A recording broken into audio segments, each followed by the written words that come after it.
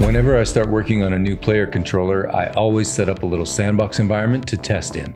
It will have the usual slopes, stairs, and terrain, but over time I've added a few additional challenges that I've come across. These really put the controller to the test, and I want to share three of these with you today. The first will be the right angle flip to test if the player can walk on any angle. Then we'll look at the gravity well to see if the controller can handle the inside of a loop. And finally, we'll have a look at moving platforms that do not require parenting the controller. Let's get into it. I just want to point out two things about the controller that I'm working on, and not even specific to the controller, but just on my hero character. I have gravity turned off and I have frozen all the rotations on the rigid body. Now I have a collider on here as well, and that's important for all of the obstacles, but those are really the only essential things that you need to make this work. So the inner workings of the controller don't matter. These obstacles are meant to work with rigid bodies, colliders, and transforms. So let's start with the first effect here. We've got a new class. I'm going to call it right angle flip. And this needs one main method that I'm just going to call flip direction. This is going to take in the new up direction and the transform of our player. First, let's figure out the angle that's between the new up direction and the up of the transform. Now, we could set a very small threshold to say that if it's within this small amount, then we're not going to do anything because we're basically already there. So in that case, let's just return early. Otherwise, let's calculate the rotation that will turn the player's current up direction into the new up direction. Once we're done that, we can apply the calculated rotation to the player. So we can multiply the current rotation with the calculated rotation difference to get the final rotation. Okay, now to pull this all together, I'm going to add one more method on trigger enter, and I'm going to add a little constraint to it because I want all the things coming into this uh, particular method to have a rigid body and a collider. Now, all colliders in Unity have a property called attached rigid body, and this is automatically populated by Unity as long as there's a rigid body on the object or on one of its parents.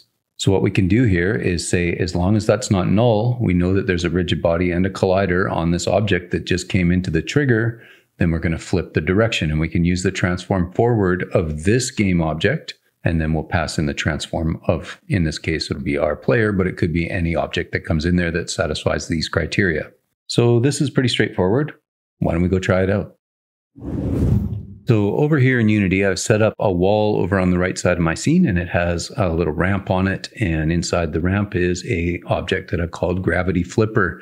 This just has our box collider, uh, which is marked as a trigger, and it has the script that we just wrote on it.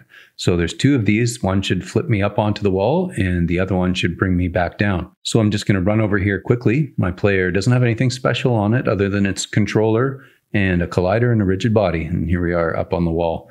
So that's looking pretty good. Um, if I come back down the ramp here, it should flip me again in the forward direction of that transform. And yeah, it does indeed turn me right side up again.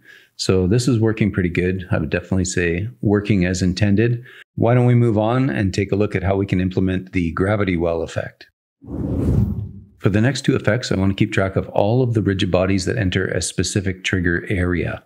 So we'll have a new class here that just keeps a list of all the rigid bodies that have come in. And we can make this publicly accessible with an I read only list. This is going to be an extremely simple class. All we need to do here is on trigger enter, as long as there is a rigid body attached to this collider, let's add it to our list. And we're going to do exactly the opposite for on trigger exit. And that's it. Now we'll be able to keep track of who's gone into the gravity well, and we'll be able to use this for our moving platforms later on as well. Okay, slightly more complicated, but not by much, our gravity well. First of all, let's require a component of type trigger area to make sure that we always have that. We can keep that in a private variable here. And the first thing we can do is create a start method and actually get components so that we have that populated. Now, because all the movement is going to be done on rigid bodies, we're going to handle this in fixed update. We're going to iterate over every single rigid body that's inside the trigger area. So let's get a reference to each of them one by one. First, let's calculate the vector that goes between the player and the very center of the gravity well. I'm going to use the fast script reload asset here and just turn on debug lines one by one. And I'll, I'll, probably draw on the screen here too so I can kind of show what the math is doing.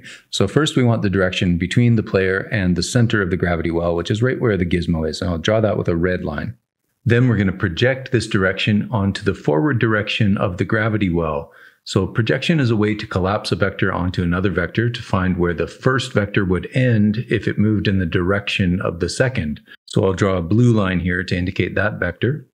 So now we've got a vector that represents how much of the direction to the rigid body value lies along the transform dot forward direction.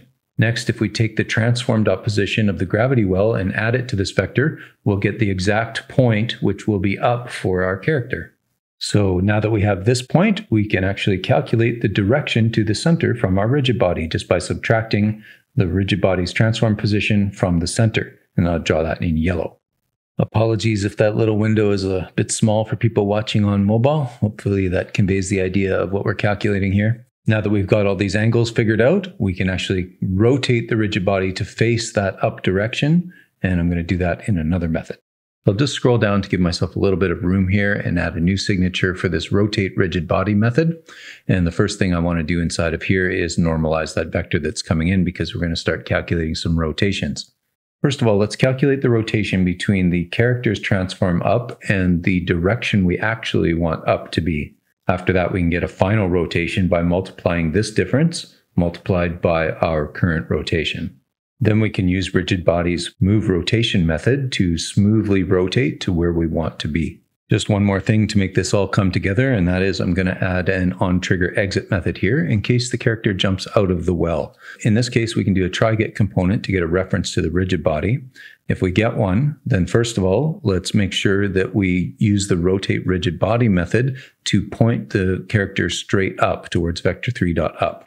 But I want to do one more thing, and that's just to make sure there's no lean in the character we can calculate the Euler angles with an x and a z of zero. And then we can make sure that we use that move rotation method again. This is just to make sure that there's absolutely no tilt in the character at all. Okay, that's all we have to do. Well, let's go make sure it works. So here in the scene, we've got a giant box collider around the gravity well, and that's for the trigger area. And then we've got a mesh collider on the actual cylinder here itself. That's how we're able to run around inside of it. And beyond that, this player controller has gravity turned off, but it has a little sensor on the bottom that lets it know if it's touching the ground or not. And the collider in this case is the mesh collider of this tube. Since here, every fixed update, we're making sure that the character is rotated so that its up direction is straight towards the center of the gravity well, its down will always be out towards one of the rounded edges. Until we jump out, of course, and then we're back to pointing straight up. So this is looking pretty good. I don't think we need to test that any further. Why don't we move on to the last piece of the puzzle, which is these moving platforms here. And uh, it's just a little bit more code than these first two. Let's start this class by making sure that we've got a trigger area associated with every platform. Now, every platform is going to need a few properties that we'll want to adjust. One of them is going to be speed, how fast it moves around, a wait time, how long it's going to pause at each waypoint that it reaches, a Boolean, maybe we want to reverse the direction of it. And then, of course, we'll have a list of waypoints that it could go through. And in some cases, that'll just be two, but you know, might want three or four sometimes. Beyond that, we're going to need some private variables. We'll want a Boolean that'll tell us, are we waiting or not? We're going to want to keep track of which waypoint we're at, and we could probably record which transform that is as well. And finally, we're also going to need some references to the trigger area and the rigid body of this moving platform. Every moving platform will have a rigid body. So let's make a start method. And first of all, let's get references to the other components here. So let's get a reference to the rigid body, a reference to the trigger area, for the rigid body on the moving platform, I want to freeze the rotation. I don't want to use gravity, and I want to make sure that is kinematic is set to true. Next, let's maybe give a little warning just in case uh, there are no waypoints. Might as well log something out to the console for that. But if there are, then we might as well choose the first one. So our index will start at zero, and so we can grab that current waypoint and set it that's really all the setup we have to do here. So I'm going to collapse up this start method and we can start adding some more methods here, starting by moving the platform. So when we're thinking about moving a platform, let's have a guard clause here. First of all, let's make sure there actually are waypoints and that we're not waiting. If either of those are true, let's bail out early. Otherwise, let's calculate the vector to the next waypoint. Once we've got that done, we can calculate the normalized movement vector for this frame. So we'll take our movement speed times time dot delta time. That'll give us how far we want to move right now.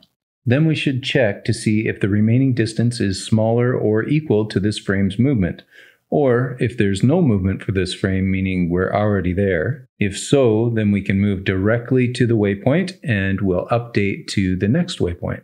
We can calculate what the next waypoint is going to be in another method. Now, supposing that wasn't true and we actually do have to move, all we have to do here is have an else condition and just moves a little bit closer to that waypoint we're headed towards. Now, finally, where the magic is going to happen here is we're going to iterate over all the rigid bodies that are in the trigger area, and we're going to adjust their position by this same movement amount. So let's have a for loop similar to what we've been doing before. We'll grab the first rigid body out of here, and we'll just use the rigid body's move position method to adjust the rigid body's position by that movement amount. And we'll do that for every rigid body that's registered in the trigger area. So now we just need a few little helper methods, really. We need a method to update this waypoint. So if we're reversing the direction, let's reverse our current waypoint index by negative one, and otherwise we'll increase it by a positive one. Then what we can do is say, well, if our current count is greater than the number of waypoints that we have, we need to wrap it around. So let's set it back to zero. And then we need to do the inverse of that because if we're going backwards and we suddenly have a negative number, a negative index, then we actually want to go to the end of the list, which is the count minus one. Now, this is a little bit verbose and we could actually write this in one line. I'm just going to comment these out and let's do an improvement here. We could actually just do this with the modulus operator if we just add waypoints.count to the index every time. That'll make sure that we always have a positive number.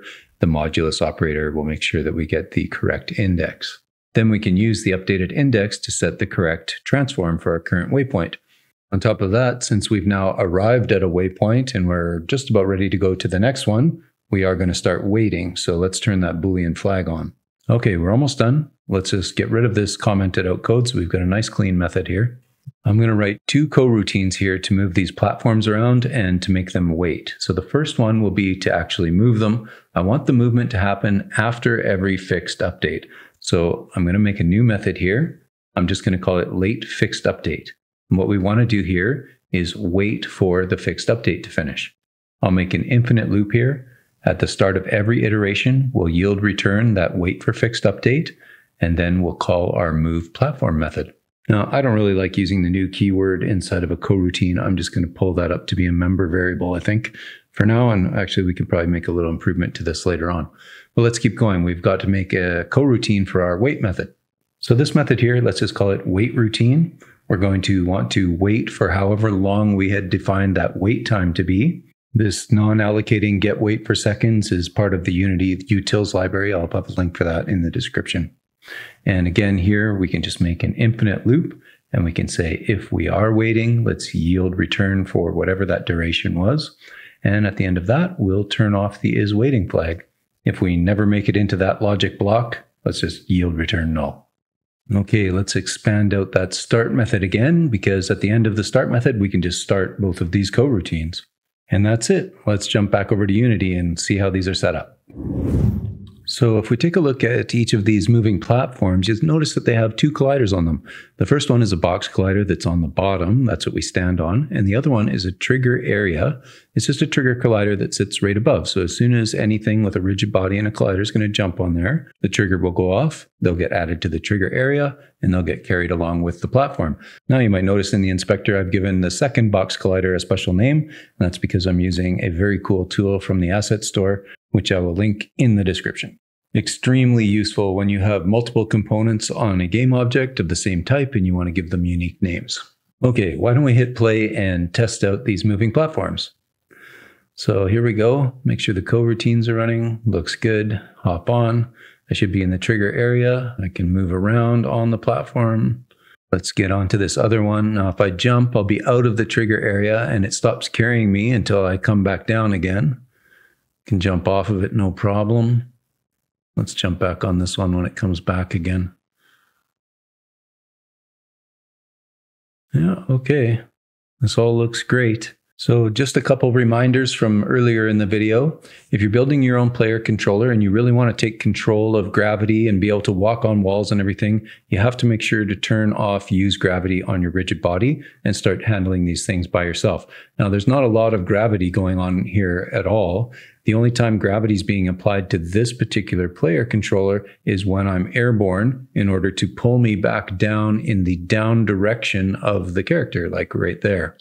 So that's really it. Other than that, it's just getting carried around because it's collided with something and the ground detector knows where it is, or it's in a trigger area. And so the rigid body is getting updated with the movement of the platform and so on. So, for the most part, these components that you see in the scene are independent of the player controller. So they can work with almost anything. Now, that being said, everybody's at different stages in their programming journey. And I realize that building a player controller from scratch might be beyond what some of you are able to do all by yourself. But I do have a video planned about building an advanced player controller similar to the one that you see here. And that'll be coming in August. So make sure that you hit the notification bell if you want to catch that one. I was thinking about doing one more optimization, and I think we have time for this, and that is let's make a static wait for class because, you know, I don't want to be calling this new wait for fixed update all the time. Let's have a static one. Let's store it. Let's have a public static property that'll let us get that from the static class. You know, we could do this for any of these types, like wait for end of frame. Now I realize that Unity's optimized this quite a bit, and this probably isn't a huge performance boost, but you know what? It'll make the code more readable. Down here on line 62, let's just use that static property. And then on line 27, I'll comment that out, but you know, really, it just needs to be removed. So I think the uh, wait for class might make a good addition to the Unity utilities library, along with some other suggestions that some of you have made on Discord. So I think I'm going to be making an update to that probably this week or the week after. Maybe we'll bump the version number on that one as well. So that's all I've got for you today. Make sure to hit that notification bell if you don't want to miss the video about player controllers in a couple weeks. Hit the like button if you learned something new today. Click on one of these images on your screen if you're not tired of the channel yet. And of course, as always, you're welcome to join the community on Discord. Maybe I'll see you there.